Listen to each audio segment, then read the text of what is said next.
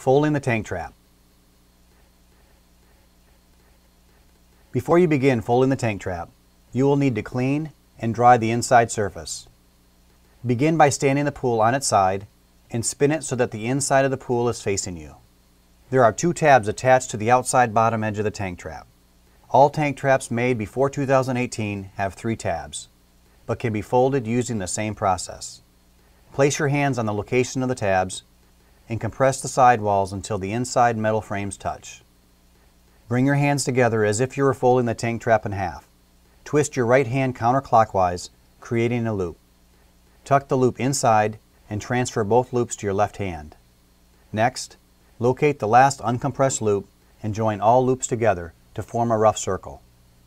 Finally, place the tank trap inside its soft carry case and carefully zip the case shut.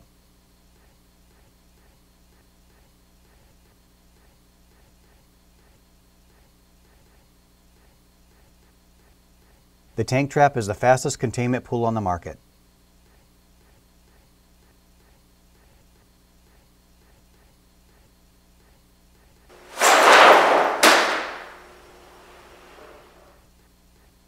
You can check out more products and videos at andax.com.